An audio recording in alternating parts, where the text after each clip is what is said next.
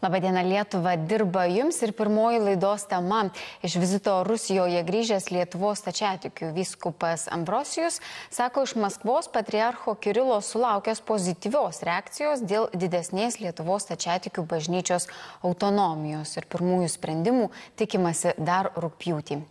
Šią temą kalbėsime su Bernardinai LT vyriausiųjų redaktoriumi Gedriumi Tamaševičiumi. Labadiena. Labadiena. Tai e, norėčiau, kad jūs padėtumėte apibriežti, kokios nepriklausomybės čia yra siekiama. Na, e, reiktų suprasti tą stačiatikų ortodoksų e, bažnyčios struktūrą, kad joje yra 16 autokefalinių bažnyčių, visiškai savarankiškų, kurių struktūrose dar gali būti autonominės bažnyčios, turinčios didesnį E, savarankiškumą ir tada dar e, yra variantas, kuriuos mes matome Maskvos patriarchate, tai yra ta savivalda turinčios e, biskupijos ar bažnyčios. Ir mat, Maskvos patriarchate iki šiol su tokia, tokiu statusu yra Latvijos, Estijos ir Moldovos bažnyčia. Lietuvoje buvo Lietuvos stačiatikiai, jie buvo kaip tiesiog e, eilinę Maskvos e, patriarchato e, viskupiją. Tai dabar kalba eina būtent apie tokį statusą, kokį turi stačiatikiai Maskvos patriarchato Latvijoje, Estijoje ir Moldovoje. Tai yra su savivaldos, su tam tikra savivalda kurios pagrindinis bruožas, dar tik pridursiu, bus, ką, ką ir minėjo E, vyskupas Ambrosijus, tai yra e, teisė patiems išsirinkti savo vyskupą iš to e, kandidatų sąrašą, kurio, kurį jiems pateiks Maskvos patriarchas.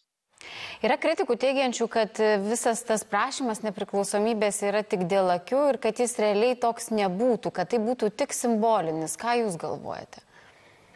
Iš tikrųjų, įdomus tas toksai momentas, kad mes apie, apie tą norą ir pabrėžiama visą laiką, kad yra didesnės nepriklausomybės e, siekis, bet apie, apie jį mes e, realiai pradėjome girdėti tik tai nuo e, kovo antros pusės, kai iškilo tų klausimų dėl vis dėlto santykio Lietuvos tačiatikių ir, ir dalies bendruomenės kunigų į patriarcho Kirilo pasisakymus, jo, jo veiklą.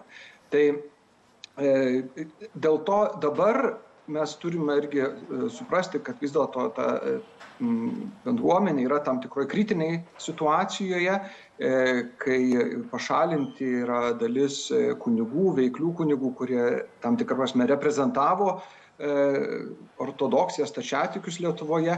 Ir šiandien be jų iš tikrųjų yra iškilę, iškilę daug tokių na, įvaizdžių problemų. Tai galima būtų sakyti, kad vienas iš būdų jį taisyti ir yra tas dabar mums nuolat, na, nuolat pristatomas kalbėjimas apie didesnės nepriklausomybės siekį.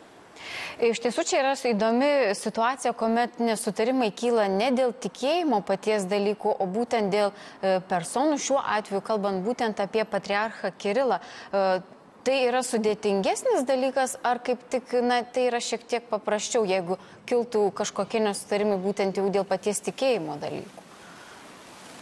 E, aš manau, kad e, vat, būtent irgi labai svarbu e, apibriežti, kad šio, šių klausimų svarstymas realiai bendruomenių, parapijų gyvenimui žmonių tikėjimo praktikai, maldos gyvenimui e, kažkokios įtakos neturės. Kaip, kaip žmonės gyveno tą savo, savo tikėjimo gyvenimą, bažnytinį gyvenimą, taip jie ir toliau jį, e, jį gyvens. Bet kitas yra tas būtent, e, kur, kur mes jau periname ir į, į, į tą politinį lygmenį ir, ir tam tikrus atsakomybės klausimus, kurie, kurie yra keliami Ir nepamirškime, kad e, patriarchas Kirilas tik tai per plauką nesulaukė ES e, sankcijų, tik dėl to, kad Vengrija užsistojo ir, ir mes nežinome, kokia, kaip, kaip, vis dėlto ta e, visa bažnyčia Maskvos patriarchato spręs toliau šitos klausimus, nes kai vadovas vis dėlto yra, nėra aiškus atsakymai dėl jo atsakomybės, dėl jo bendradarbiavimo su tuo e, E, režimu ir, ir tada šito, tai yra to ne, neišvengiamai susijęs su šito lygmens klausimas. E, taip pat viskupas Ambrosijus sakė, kad perdavė patriarchui Kirilui, e, na tai, kad Lietuvoje yra nerimaujama dėl patriarcho Kirilo pozicijos karo atveju. Tačiau jis sakė, kad jo žodžiuose niekada nebuvo tiesiog, tiesiogiai pasisakoma uh, už karą. Ar jūs irgi niekada neižvelgėte būtent tiesioginio pasisakymo karo atžvilgiu? E, na, šiuo atveju e, tai, tai yra susijęs su tam tikrų gudrumu ar, ar, gudravimu, ir, ir, e, bet užtektų, na, pats tiesiog sekiau tą vakarą, kai tą naktį, kai, kai pasiekė žinios apie, apie karo pradžią, iš karto pasižiūrėjau, o kągi Maskvos patriarchatas skelbė apie tai. O išvakarėse buvo armijos diena ir jisai tam pasakė labai uh, sakyčiau, įkvepiančią e, kalbą, šlovinančią na, apie e, rusiškojo ginklo šlovę, na, praktiškai militaristinę, e, militaristinę kalbą, kuri galėtų tame kontekste yra tiesiog akivaizdus buvo įkvėpimas paskatinimas. Bet jeigu mes E, pasiklausytume kitų e, ar, ar tų kalbų, ar tekstų, tai mes, aišku, niekur e, nesurasime. Tai, bet juk ir pačioje Rusijoje mes negirdėsime žodžio apie karą, tik tai apie specialią operaciją arba apie vada, apie žmonių vadavimą, gelbėjimą arba tų pačių Maskvos patriarchato stačiatikių gynimą ar gelbėjimą.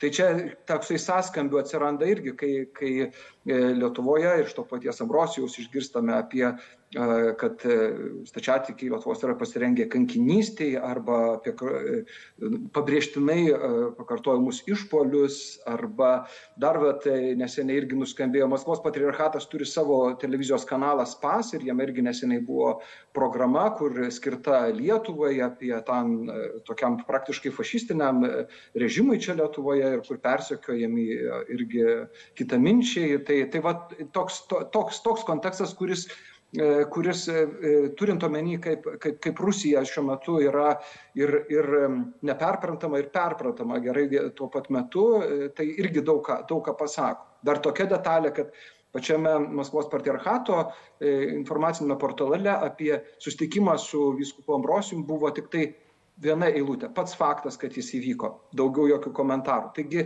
labai ta informacija sklinda įvairiomis kryptimis ir, ir atitinkamai jinai yra suformuojama ir ar į vieną, ar į kitą pusę.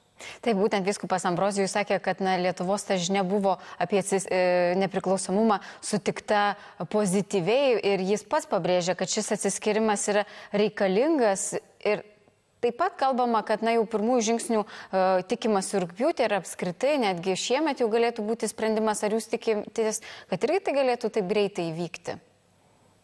Na, turint omeny, dar yra toksai praktinis momentas. E, e, Lietuvos vyskupui Inokentijui šiemet sukanka 75 metai, tai kanoninis amžius, kai uh, turi būti renkamas naujas vyskupas, tai uh, ar vienokia ar kitokia forma tie, e, e, ta, ta procedūra turės įvykti ir, ir aš manau, kad e, gali nesunkiai būti tas, tas dalykas ir, ir parengtas, kad jau įvyktų su tuo su tuo nauju statusu, tik tai tikrai šitoje situacijoje mes negalime kalbėti apie e, atsiskyrimą e, ar, ar kaip, kaip vartoti tą žodį nepriklausomybę. Tai yra tam tikri savivaldos e, dalykai, kurių, kurių anksčiau, anksčiau, anksčiau nebuvo.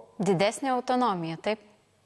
Tiesiog. Ir dar net ir stipresnis žodis, nes autonomija turi tą savį žodį savo, savo teisę. Tai e, savivalda didesnė. Ačiū Jums, kalbėjome su Bernardinai LT vyriausiųjų redaktoriumi Giedriumi Tamaševičiumi apie tai, kad iš vizito e, Rusijoje grįžęs Lietuvos tačiatikių vyskupas Ambrozijus sako, kad iš Maskvos patriarcho Kirilo